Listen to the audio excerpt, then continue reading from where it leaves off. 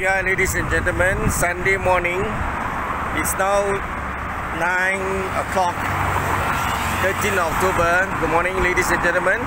So I'm going to uh, pan back to this side. We are actually on the KL Seremban Highway.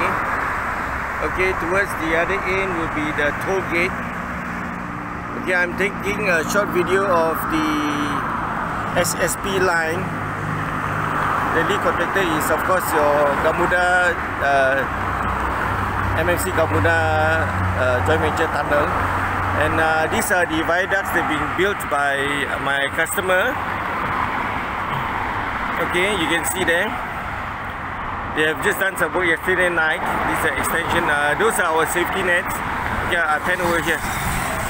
This pier you can see the nets. Uh, these are our uh, what do you call it the 401 safety net orange color one. Uh, sorry it's not very clear. Uh, zoom in a bit. Okay those are orange color is our 401 safety net. And the blue color is our uh, what do you call it 70 percent uh, 70 percent uh, blue color nets. Uh, there are some green ones here too. Okay slowly I'll pan over here. Okay. And uh, towards the other end there's the pier there that one is just beside the bridge. So DRC has been our customer since the MR, uh, RRT2 which they built a section uh, from Kelana Jaya right up to uh, DRC was Kelana Jaya right up to section 14 of Subang Jaya. Uh, no, no, Subang, in fact until USJ. USJ until Summit. I remember it was until Summit then handed over to uh, another contractor. Okay, here we are on a Sunday morning, 13 October. The traffic here is uh, not so heavy yet. I guess it's still very early.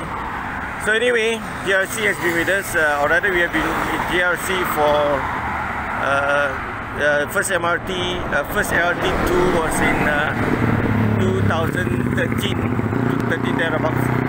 So they've been our regular customer and they are about to launch the gantry here and also the uh, connection of the uh, viaduct soon. Okay, thank you ladies and gentlemen for your time. It's been a pleasure. So if you find this video, um, I'm Glenn Lim from uh, NetsTarget Marketing. So if you find this video helpful in any way, uh, please kindly share with your friends. Okay, and then we'll try to uh, see how we can uplift the uh, safety standards in Malaysia. Actually, by right, I recommended them to use uh, a smaller mesh. Uh, we have a smaller mesh uh,